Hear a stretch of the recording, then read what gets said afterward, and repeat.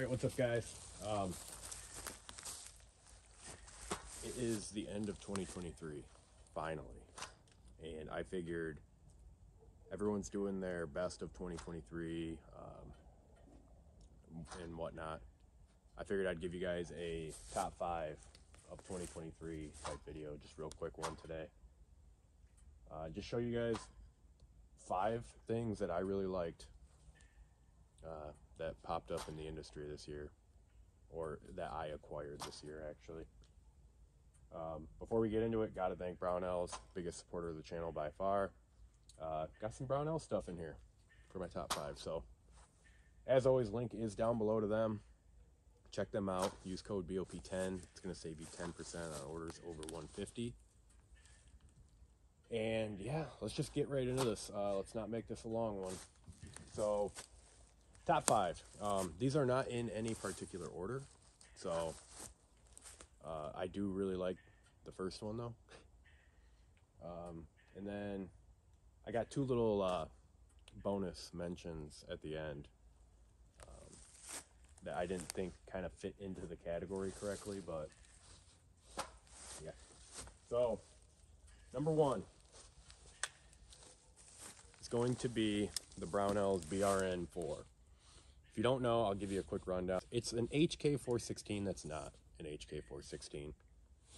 Uh, it's all 416 compatible parts. So if you have a 416 and you need anything, you can buy the Brownells version of it and use it. So uh, same thing if you have some HK stuff you want to use, you can put it on the Brownells, the BRN4 receiver, whatever. Uh, this is a really cool gun. Um, short stroke piston, awesome. Piston guns are really cool. They're heavy, especially when they're 14.5, but I like 14.5. It's a good length. Uh, you can still do everything you want to do with it. And yeah, so I figured why not? We'll come out here, do some shooting with it real quick. Um, my targets are completely, completely fucked up, but we're still gonna shoot them. Let's shoot the brown Brownells BRN4. Uh, let me turn my ear pro on It's been a while since I've shot this. I really like this though, this setup. Um, definitely not zero either.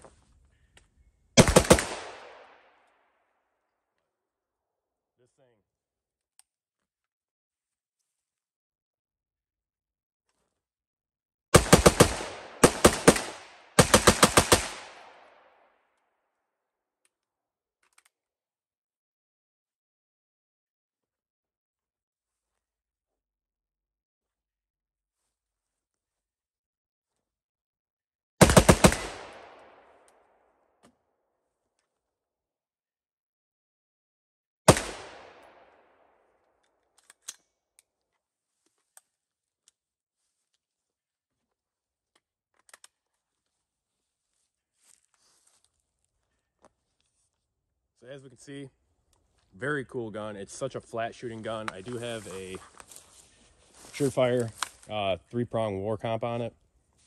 Super simple setup. I really like this gun. Um, yeah, so that is my pick number one, the BRN4 from Brownells.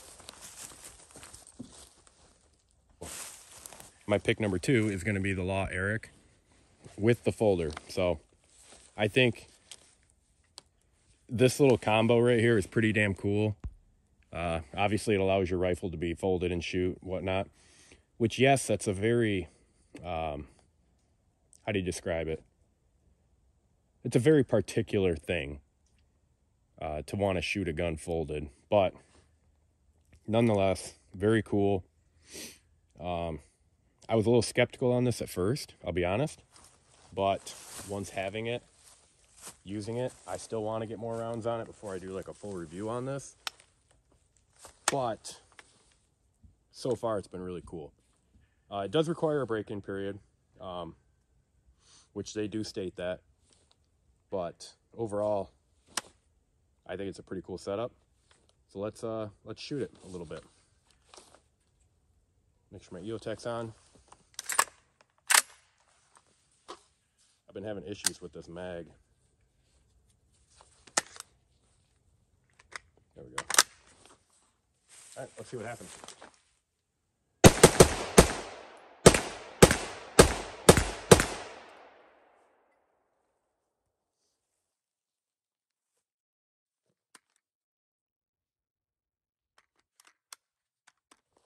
Um, let's shoot it folded because that's what the whole purpose of the Eric is.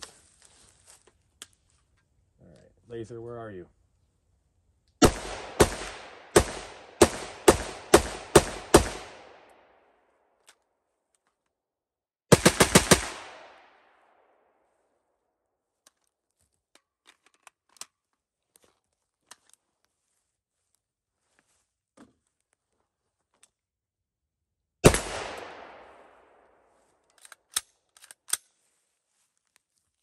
We go.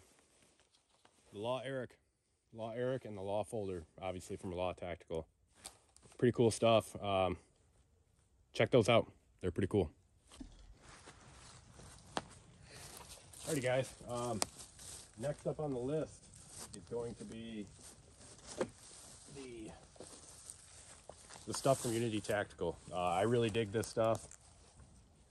Um, at first, I was, again, very skeptical. 2.26, that's a pretty high optic uh, offset. But the selling point for it for me is the flip to center uh, Omni magnifier mount. I think this is a really cool setup. I, that's the only reason I never wanted to run a magnifier was because I didn't want it hanging off the side, basically. So Unity has this, obviously.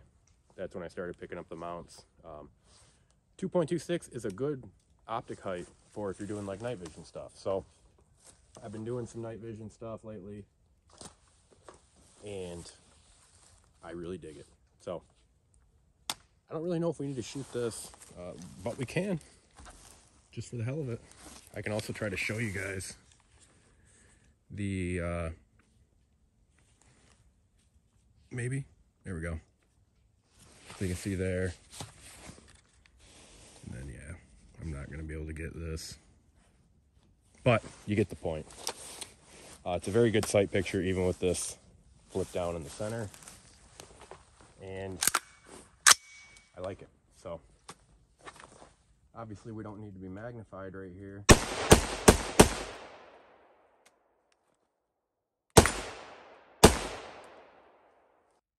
just think it's a cool system that they're doing. And yeah, check them out. Pretty cool, uh, pretty cool little thing they got going here. So, next product is going to be this is something a little different. Next one is from Viktos.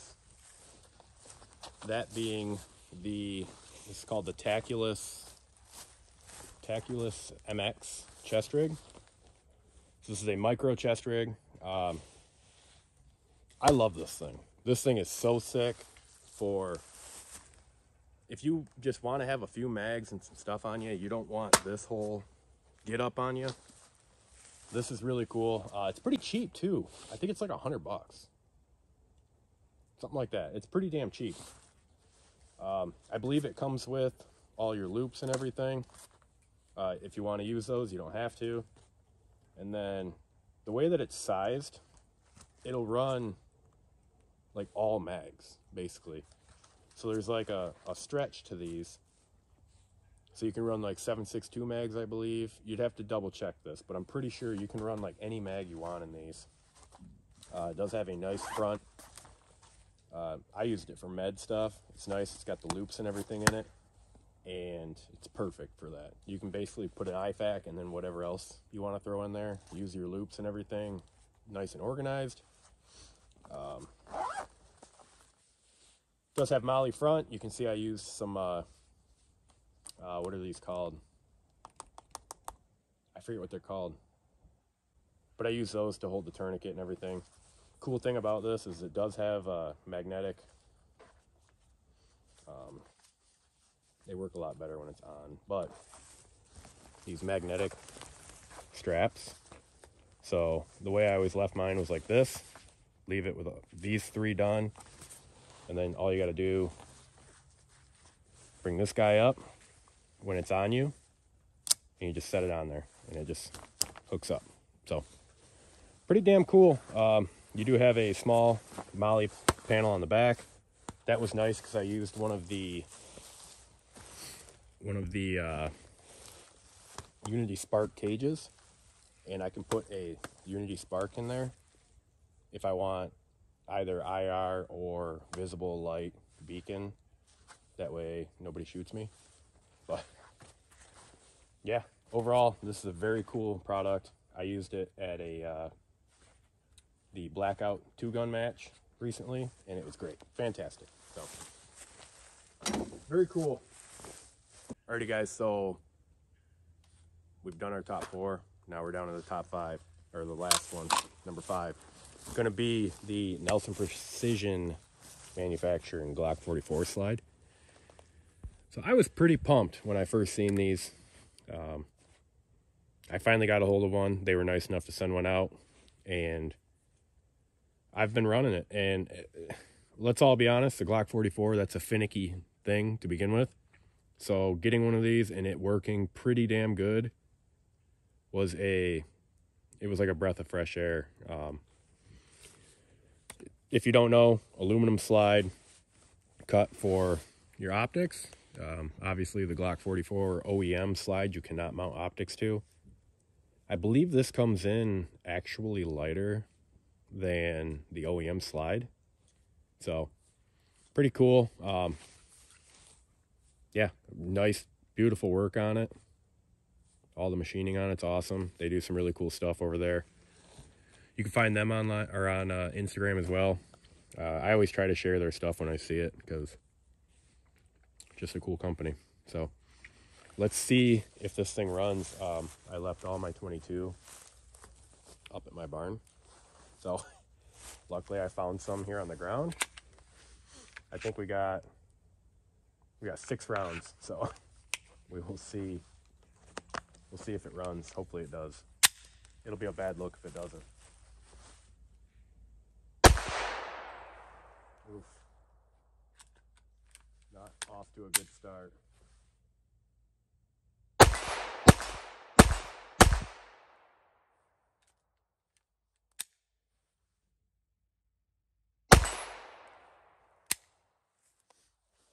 Well, it is what it is. When you're picking up your ammo off the ground in the woods, I don't know. I don't know what what what you want to expect, but I'll lay in some clips right now of this thing. Um, I love it. It's awesome. The Glock 44 is a fun, just plinking gun. I like using it for that. Some people like using it to train as if they were using their G19. I don't do that, but hey, if you're doing it, that's awesome. At least you're doing something. So it's better than most people. Check them out. Pretty cool setup. Um, all right, last but not least, let's talk about the honorable mentions. Um, and the only reason that they're going to be mentions is because, well, first, uh, Midwest Industries. I wanted to mention, I wanted to make one of the Midwest Industries rails be my one of my picks. We, we have a Midwest Industries uh, 416 rail right here. I've got the two piece drop in or two piece uh, free float on my Colt upper. I have the uh, just standard quad rail, uh, 10 inch quad rail that I cut up to use with the JP Enterprise adjustable A2 uh, gas block. But I couldn't really single it out to one, so I just wanted to mention basically all of the Midwest Industries rails. These things are sick. Uh, all my buddies have them, and they they're just great. They're awesome rails. They're pretty well priced compared to, I mean, other high quality rails. And yeah, I mean, they hold zero really well. Uh, I do have the the Night Fighter upper as well. That has their Night Fighter rail on it. Um, I forgot to mention that. But awesome rails. I really like them. Um, yeah, I just wanted to mention them because they're an awesome, awesome company as well. They help out a lot. And we dig them.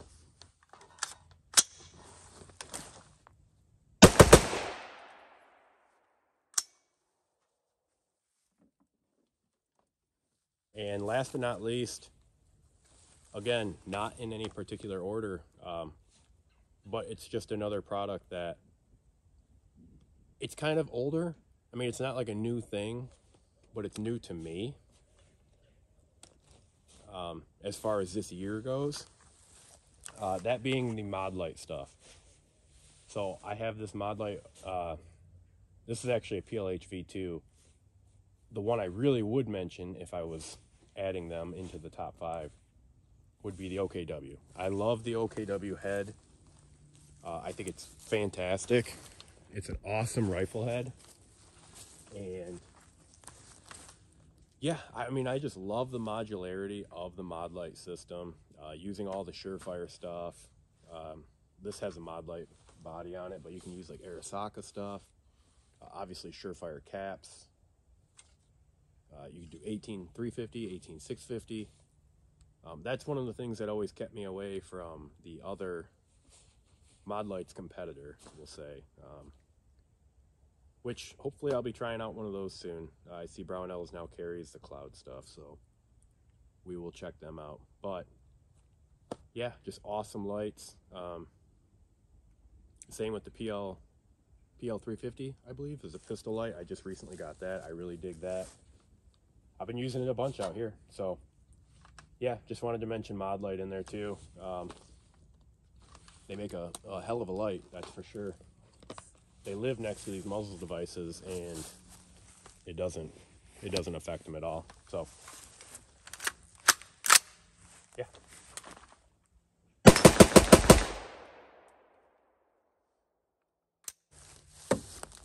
Alrighty guys and that is it. That's going to be my top five um, just favorite things from the gun industry this year uh, for things that I picked up this year. Some pretty cool stuff.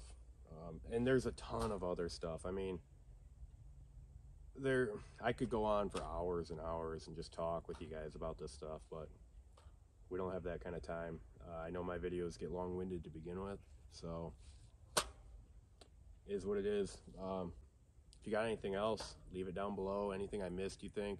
I probably did miss something. There's probably something that I'm just not thinking of that I got, and, and I just love it. But those are the ones I thought of. So uh, I'd appreciate it if you liked the video. Hit subscribe. Check out the homies down below. Check out the people that help support the channel. Brownells, Midwest Industries. Um, just hit the Linktree. That's where you'll find them all. And that's it. Let me know what you think down below. Peace.